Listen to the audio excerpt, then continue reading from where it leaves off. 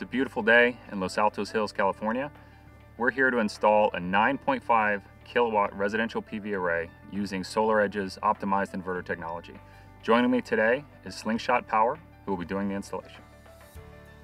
As you can see, we already have the racking done, and now it's time to install the power optimizers. These power optimizers perform the MPP tracking that most string inverters attempt to do at the end of the string. By placing the electronics closer to the modules, we can fully capture all of the energy that they produce. Many sources of shade may go unnoticed in today's market.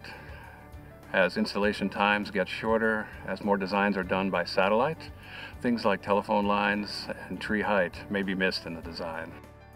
Installation is easy. The power optimizers only require equipment grounding. That can be done with just a single star washer inserted between the metal plate on the optimizer and the rack.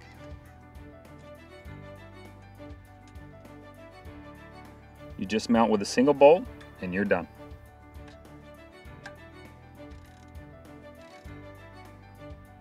Next, you wire the optimizers together. They use male-female locking connectors. Make sure you listen for the click, and that's it. Next, we gather up all of the barcodes. This is to build the array in the monitoring portal. SolarEdge supplies an easy-to-remove decal that can be removed and placed on a PV grid sheet. To install the PV modules, you just need to connect the two short cables from the power optimizer to the cables on the PV module. Match the female to male in and listen for the click.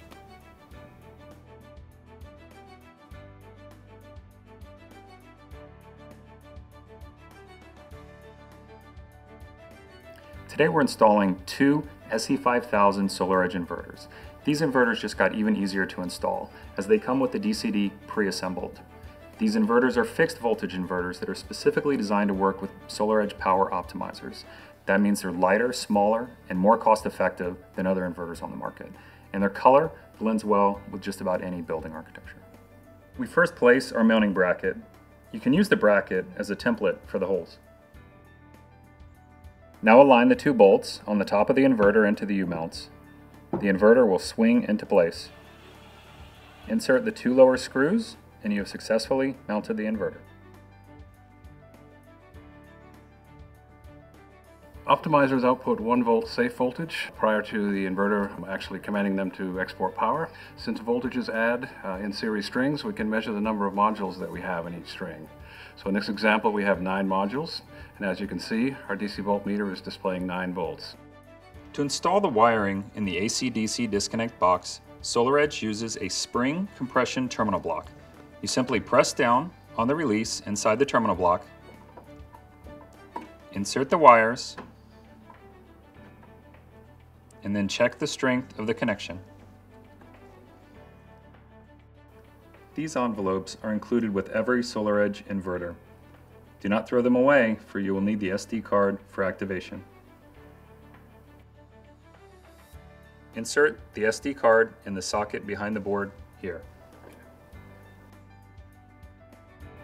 Now we will pair the power optimizers with the inverter. This will let the inverter know how many power optimizers are on the roof. It will take about three minutes for pairing.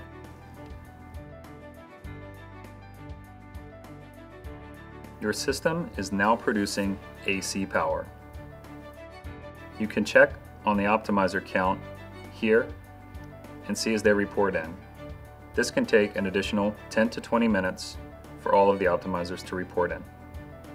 If you want to monitor your system, SolarEdge offers free monitoring for 25 years. You can track your system's performance on your computer, iPhone, iPad, and now Android devices. For this installation, we will hardwire the communications using a standard Cat5 Ethernet cable. You can check your monitoring connection on this screen. All ones means that you're fully connected. Each one represents a step in the data path for instance, the first one means that the Ethernet cable is connected properly. The fourth indicates that we have pinged the World Wide Web. All eight means that we have connected to the SolarEdge server successfully. Now let's check our array performance. You can see that our new 9.5 kilowatt array is registered and displaying our energy produced. Great job everyone!